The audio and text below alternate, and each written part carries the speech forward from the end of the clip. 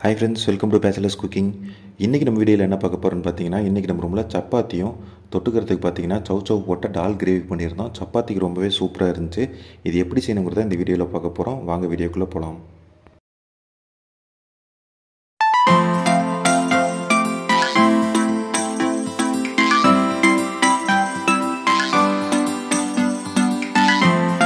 First இதுக்கு தேவையான பொருள் பார்த்தீங்கன்னா வெங்காயம் அதுக்கப்புறம் பார்த்தீங்கன்னா கருவேப்பிலை எடுத்து வச்சுருக்கேன். அதுக்கப்புறம் சௌச்சௌ வந்து தோலை உரிச்சிட்டு அதை கட் பண்ணிக்கலாம். இப்போ குக்கர் எடுத்துகிட்டு ஃபஸ்ட்டு பருப்பு போட்டுக்கலாம். பாசி பருப்பு உங்களுக்கு தேவையான அளவு போட்டுக்கங்க. நான் ஒரு ஒரு கப் அளவுக்கு எடுத்திருக்கேன். அதுக்கப்புறம் பருப்பு நல்லா கழுவி எடுத்துகிட்டு குக்கர்லேயே பருப்பு கூட சேர்த்துட்டு நம்ம தக்காளி பூண்டு அதுக்கப்புறம் வெட்டி வச்சுருந்த சௌச்சௌ காய் அதை மூணையுமே உள்ளேயே போட்டு பருப்பு கூடயே நம்ம வேக வச்சுக்கலாம். இப்போ அதை மூணையும் போட்டு இப்போ அது கூட மஞ்சத்தூள் வந்து ஒரு கால் டீஸ்பூன் அளவுக்கு போட்டேன். அதுக்கப்புறம் உப்பு ஒரு ஒரு டீஸ்பூன் அளவுக்கு சேர்த்துக்க முக்கால் டீஸ்பூன் அளவுக்கு சேர்த்துக்குங்க. சேர்த்துட்டு இப்போ இந்த பருப்பு வேகிறதுக்கு தேவையான அளவு தண்ணி ஊற்றிக்குங்க இப்போ அவ்வளோதான் நான் தேவையான அளவு தண்ணி ஊற்றிட்டேன் இப்போ குக்கரோட மூடியை போட்டு தேவையான விசில் விட்டு எடுத்துக்கலாம்.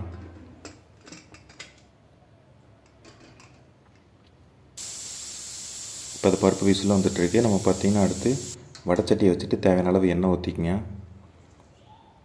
எண்ணெய் ஊற்றிட்டு எண்ணெய் காஞ்சதுக்கப்புறம் ஒரு டீஸ்பூன் அளவுக்கு கடுகு. சீரகம் ஒரு அரை டீஸ்பூன் அளவு போட்டுக்குங்க. போட்டுட்டு ரெண்டு பொரிஞ்சதுக்கப்புறம் வெட்டி வச்சுருந்த வெங்காயத்தையும் கருவேப்பிலையும் உள்ளே சேர்த்துக்குங்க. சேர்த்துட்டு எல்லாத்தையும் சேர்த்து நல்லா எண்ணெயில் வதக்க ஆரம்பிச்சிருங்க.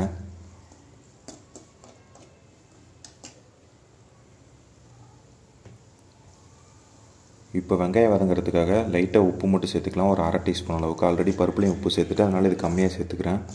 சேர்த்துட்டு நல்லா வதக்கலாம் வெங்காயம் வந்து நல்லா வதங்கி பொன்னிறமாக வரணும்.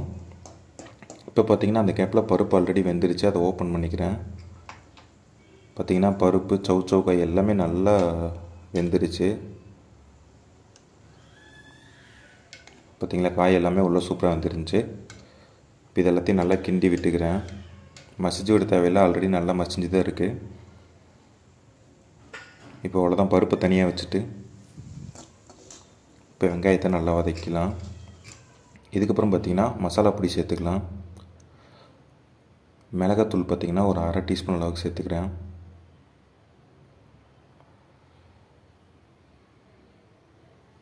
அவ்வளோதான் சேர்த்துட்டு அது கூட நல்லா மிக்ஸ் பண்ண ஆரம்பிச்சிருங்க. மசாலா பொடி வந்து அது கூட மிக்ஸ் ஆகி வாசம் போகிற அளவுக்கு நல்லா மிக்ஸ் பண்ணிக்கோங்க. அதுக்கப்புறம் பார்த்திங்கன்னா கரம் மசாலா அது ஒரு கால் டீஸ்பூன் அளவுக்கு சேர்த்துக்கிறேன்.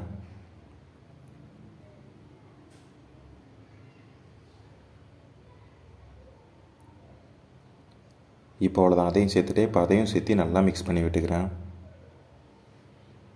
எல்லாத்தையும் சேர்ந்து நல்லா மிக்ஸ் பண்ணி விட்டு நல்லா வதங்கினதுக்கப்புறம் இப்போ நம்ம பருப்பு வந்து உள்ளே சேர்த்துக்கலாம்.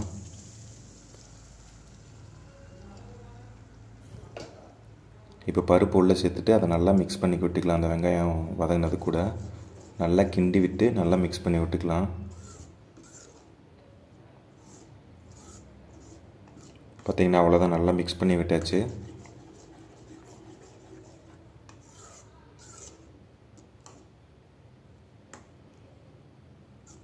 இப்போ அவ்வளோதான் நல்லா மிக்ஸ் பண்ணி விட்டேன். இப்போ நல்லா ஒரு கொதி குதிச்சா போதும். அவ்வளோதான் குழம்பு சூப்பராக ரெடி ஆயிரும். பார்த்திங்கன்னா குழம்பு நல்லாவே கொதிச்சிருச்சு. அவ்வளோதாங்க சூப்பரான சவுச்சோ டால் கிரேவி ரெடி ஆயிடுச்சு இன்றைக்கி நம்ம ரூமில் சப்பாத்திக்கு சவுச்சோ டால் கிரேவி தான் சைடிஷாக வச்சு தொட்டு சாப்பிட்டோம். ரொம்பவே அருமையாக இருந்துச்சு. இதே மாதிரி நீங்களும் செஞ்சு பார்த்துட்டு மறக்காமல் எப்படி இருக்குன்னு கமெண்ட்டில் சொல்லுங்கள் தேங்க்ஸ் ஃபார் வாட்சிங்